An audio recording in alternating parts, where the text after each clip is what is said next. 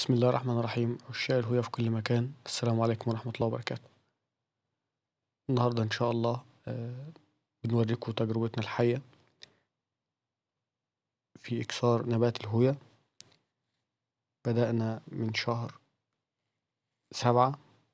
لحد النهاردة الفترة ديت حوالي خمس شهور بالتمام والكمال ربنا كرمنا والنتايج مبهرة إن شاء الله. زي ما هنستعرضها مع حضراتكم كده. الحمد لله رب العالمين النمو وصل لحد آه، حوالي متر ونص. يعني كنا عاملين آه، نظام تكعيبة تمشي عليها الهوية زادت منها فزودناها تاني علشان البراعم النامية بتاعتها ما تكسرش. ودي النباتات الصغيرة اللي زرعناها على على ورقتين. في دي حاجات حجم أكبر شوية فصلناها من الأم. لكن طبعا ما كانتش بالحجم ده. كل اللي حضراتكم شايفينه ده نمو جديد.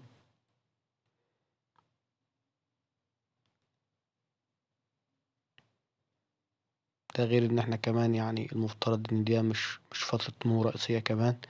بس إحنا بنحاول في الفترة اللي هو الجو البارد ده نوفر له شوية دفء. يعني بنتحرك معاه بالشمس شوية. الهوية ما عندهاش مشكلة من من الضوء لكن ما بيحبش الضوء المباشر الشديد. هي يعني في أفضل الأحوال بتاعتها يجي لها الضوء اللي هو اللي بنقول عليه متغربل أو ضوء مش مباشر وفي نفس الوقت بيفضل مثلا الضوء في فترة في أوقات الحر الشديدة. يكون في في الساعات الأولى من الصباح. يعني تقريبا لحد الساعة عشرة صباحا. وفي الوقت اللي هو بعد العصر. بحيث بتكون ضوء الشمس معقول ومفيش حرارة شديدة تحرق الورق.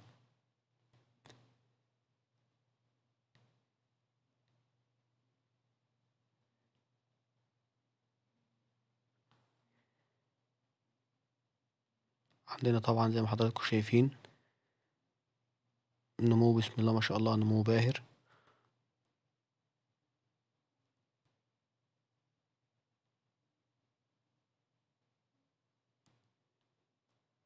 في حاجات آه، زرعناها في أول شهر سبعة وزي آه، اللي قدام حضراتكم دلوقتي حاليا. في حاجات زرعناها بعد كده ودي النبات الأم الرئيسي بتاعنا اللي إحنا زرعنا منه وأخدنا منه العقل بتاعتنا. طبعا آه، اللي حضراتكم شايفينها دي النمو بتاعها جميل بسم الله ما شاء الله. يعني يزيد عن نص متر.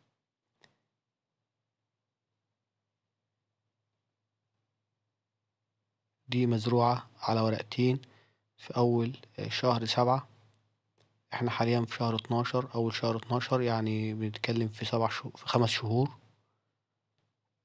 دي فيها تزويد وشغالة ما شاء الله عليها. مزروعة تسعتاشر تسعة ألفين وعشرين.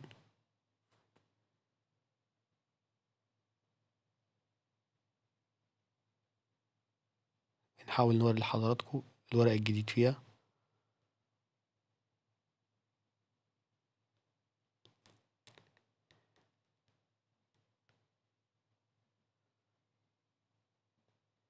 دي كمان مزروعة. في تسعتاشر تسعة.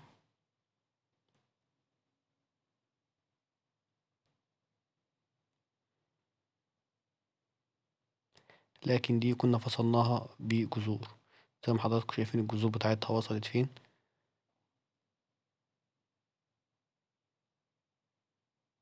دي كان ليها جذور زي ما قلت حضراتكم وقت ما زرعناها. أما دي؟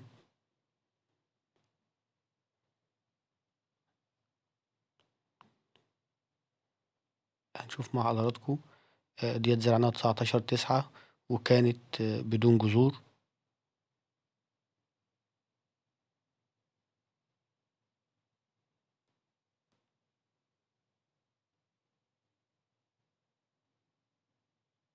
يعني دي مزروعة حوالي شهرين ونص بس.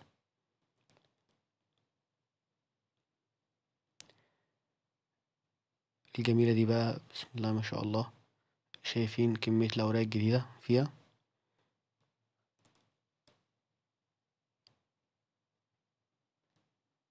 قدام حضراتكم أهيت.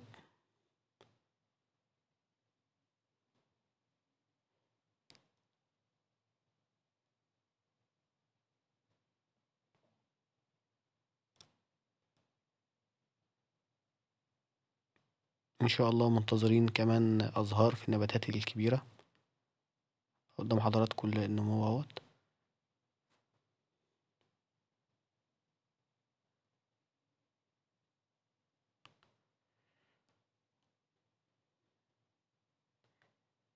بمجرد ما بيوصل لمرحلة النمو ده بتلاقي النمو متسارع. يعني في وقت مثلا قليل جدا بتبص تلاقي حجم النبات اتضاعف اللي فاتت كانت بدون جذور على فكرة. يعني زارعينها ورقتين وبدون جذور. آه، دي برضو بسم الله ما شاء الله. تسعتاشر تسعة برضو. ومزروعة بدون جذور. يعني برضو للعلم الجذور وبدون جذور. نشوف دي الأول. آه، ديت آه، مزروعة في أول شهر سبعة خمس شهور حاليا. آه، نرجع لحكاية الجذور وبدون جذور. دي آه، في حاجات بنزرعها في المية زي ما هنوريكم بعد شوية.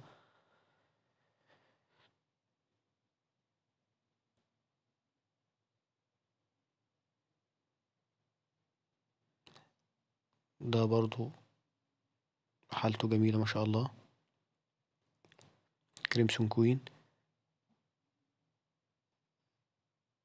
ده خمستاشر تسعة. تمام؟ وكان مزروع بدون جذور. إحنا زي ما قلنا لحضراتكم إحنا في أول شهر اتناشر. يعني النهاردة اتناشر اتناشر ألفين وعشرين.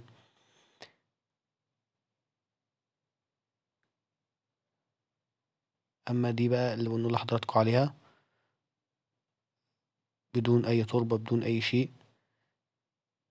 آه، أخدنا العقلة وحطيناها في المية. كمية أوراق جديدة آه، يعني حوالي ست أوراق جديدة.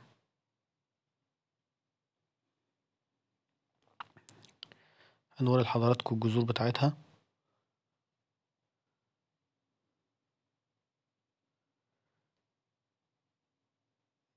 اللي في النبات ده سفنجة مش مش تراب ولا أي حاجة؟ النبات عامل جذور تقريبا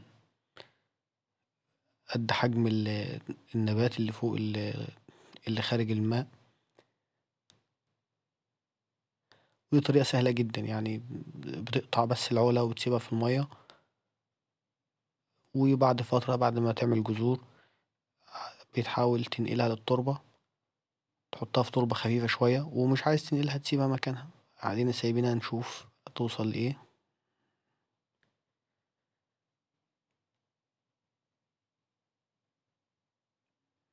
نحاول نرجعها مكانها تاني عشان الجذور ما يتأذاش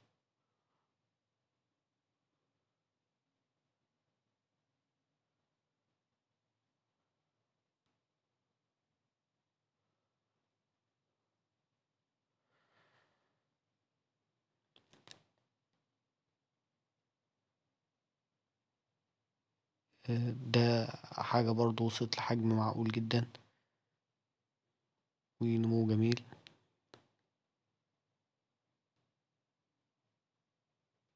شايفين حضراتكم؟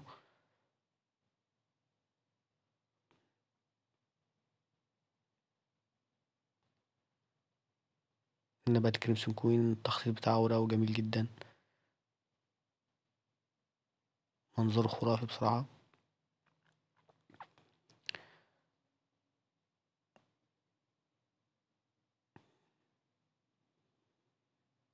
دي الحاجات اللي اتزرعت في الأول قديمة شوية.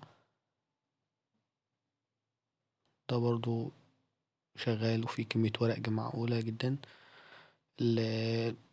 في الأيام دي من السنة في الجو البارد ده بنحاول نقلل الري على قد ما نقدر. دي زرعناها أربعة وعشرين تسعة لكن بعد ما جزرناها في المية. عملية التجزير اللي هي إيه؟ بنحط النبات في المية يا جماعة ونسيبه لحد ما يعمل جذور. وبعد كده ننقله للتربة. طيب هننقله للتربة يبقى نحاول منسيبوش فترة طويلة في المية علشان الجذور بتاعة المية بتبقى ضعيفة. فهنحطه في التراب ممكن الجذور دي تتلف وهو هيعمل جذور تاني غيرها بس يعني بنرهق النبات. فنحاول مثلا بمجرد إن هو ما يعمل جذور ما يبدأ يعمل جذور منسيبوش فترة طويلة يعني في خلال عشر أيام خمستاشر يوم تقريبا على أقصى تقدير يعني. وطبعا هنبقى عارفين هنبقى شايفين الجذور بتنبت قدامنا وننقله للتراب في أقرب وقت ممكن. طبعا التربة الخفيفة مطلوبة تمام؟ ده يوم أربعة وعشرين برضه ومزروعة دي يا جماعة بدون جذور على فكرة. التربة نقول تكون خفيفة بوت نص مثلا هنزرع في تربة طينية زي ما أنا عملت كده هتبقى تربة خفيفة برضه لأن بتفرق. نحاول نضيفلها أي شي يخفف التربة بتاعتها علشان ما تمسكش على الجذور بتاعة النبات. زي ما بنقول كده نقلل الري على قد ما نقدر. نحاول نحط النبات في مكان فيه إضاءة بعيد عن الشمس المباشرة في أوقات الحر الشديدة. في فترة الشتا بنوقف التسميد و نقلل الري على قد ما نقدر علشان ما يحصلش تعفن في جذور النبات. وإن شاء الله ربنا يكرمكم كلكم كده. ويبقى عندكم مجموعة هوية جميلة زي ديت كده إن شاء الله. وربنا يكرمنا بالأزهار إن شاء الله ونشاركها معاكم. وربنا يبارك وادعولنا بالبركة يا رب.